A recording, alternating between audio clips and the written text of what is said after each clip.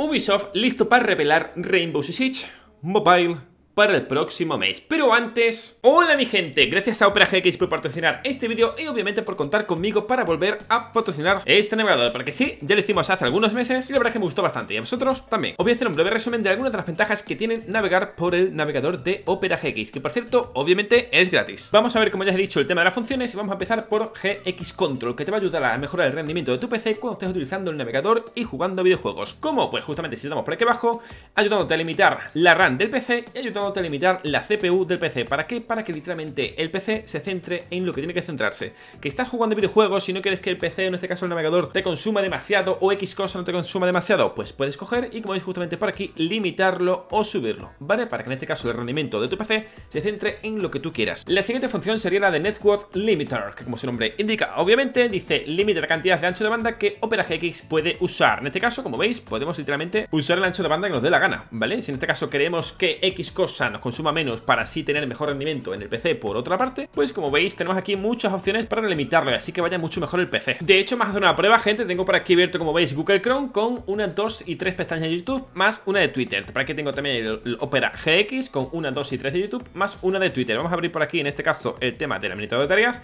Vamos a ver que Opera GX, en este caso, tiene un 0,1%, justamente ha bajado por aquí, y Google Chrome tiene el doble, ¿vale? En este caso un 0,1, 0,2 acaba de bajar por aquí, ¿vale? De hecho, Opera GX ha pasado a 0 por toda la cara. Pero bueno, este en este caso es el tema de la CPU. Tema de memoria, como veis, Google Chrome aparece con... What the fuck, madre mía.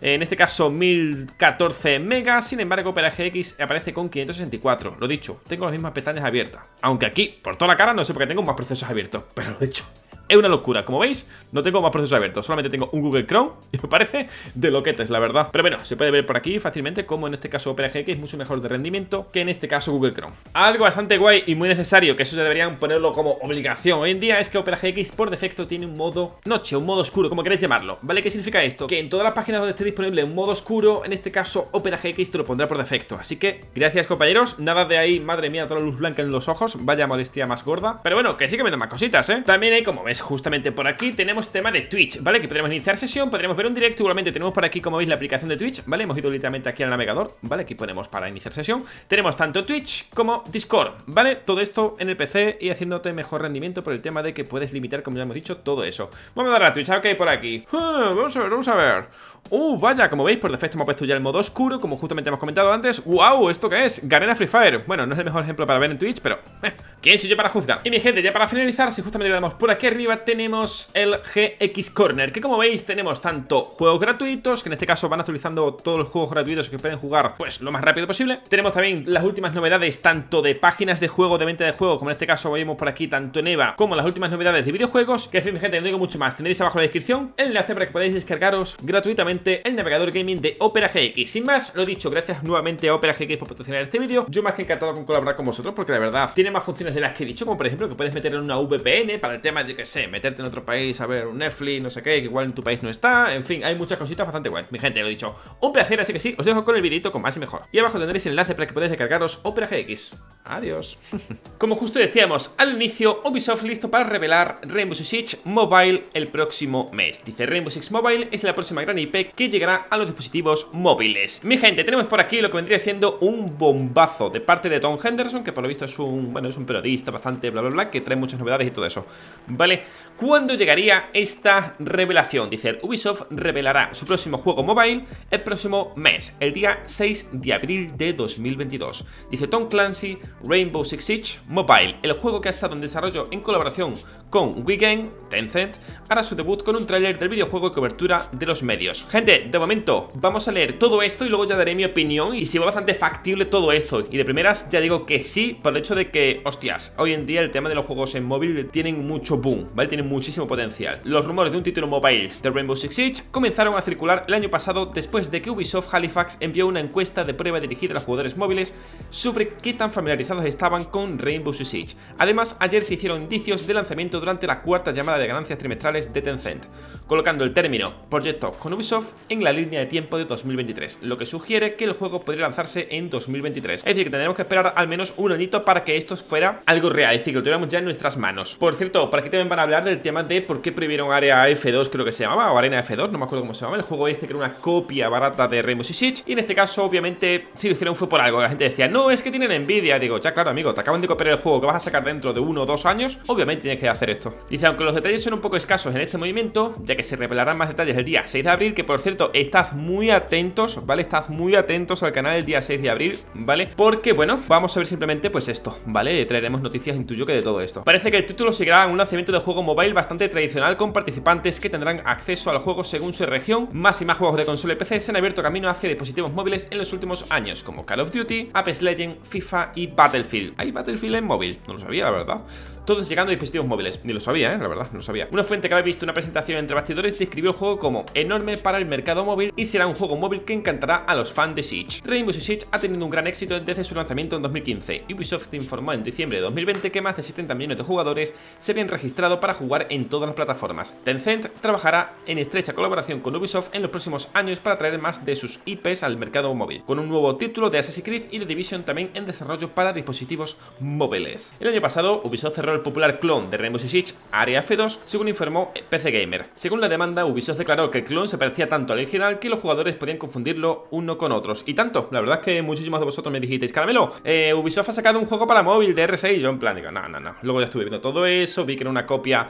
A ver, estaba bastante bien hecha, pero tenéis en cuenta una cosa. Era una copia bastante bien hecha, pero el tema de que era una copia de algo que ya existía, ¿vale? Entonces no tenías que hacer mucho más, simplemente hacer el port. Dice, Ubisoft se complace en que Area F2 haya sido retirado de la venta por Dice, en consecuencia, hemos decidido desestimar la denuncia presentada contra Joy. Es decir, que lo que hicieron fue demandar a la empresa que hizo esta copia, pero luego lo que hicieron fue quitar la demanda, ¿vale? Porque obviamente no querían, pues intuyo que, que, que joderlos, ¿no? En plan, oye, os hemos puesto una demanda, habéis retirado el videojuego que nos estáis copiando, ¿lo habéis retirado? Perfecto, nosotros quitamos la demanda. Grande Ubisoft. ¡Yo! Hubiera dado muerte. Te lo digo, ¿eh? Dice eh, Apple y Google. Dice, en el futuro seguimos comprometidos con la protección de toda nuestra propiedad intelectual y el arduo trabajo de nuestros equipos. Mencionó la compañía en un comunicado emitido posteriormente. Desde entonces no ha habido muchas noticias sobre un juego móvil de Rainbow Six hasta hace poco, cuando un usuario en el subreddit Gaming League bla bla bla dice, llama la atención de todos hace unos meses sobre la encuesta de prueba que Ubisoft Halifax había estado enviando a los jugadores, que incluía preguntas específicas sobre su familiaridad con títulos móviles populares y en particular Rainbow Six. Todas estas pistas, aunque sutiles, han llevado a los jugadores a especular el lanzamiento de Rainbow Six Siege para plataformas móviles por parte de Ubisoft. Gente, lo dicho, el día 6 de abril, como justamente dice por aquí, estás muy atento. Tanto si sacan algo, ¿vale? Traeremos vídeo y si no lo sacan, pues bueno, vamos a ver qué es lo que ocurre, ¿vale? Pero lo dicho, estarás muy muy atento el día 6 de abril, ¿vale? Tanto a Twitter como al canal de YouTube como a todo. Vale, simplemente eso. ¿Qué os parecería a vosotros que metiesen en este caso un Rainbow Six para móvil? A mí me encantaría. ¿Por qué? Porque obviamente la gran cantidad de jugadores o de usuarios que hay en móvil, wow, Tened en cuenta que encima seguramente vaya a ser gratis, ¿vale? Porque todos los juegos para móviles son gratis, ¿vale? Yo nunca he sido muy fan de juegos para móviles porque personalmente nunca uso el móvil, entonces pues, pues bueno, ¿vale?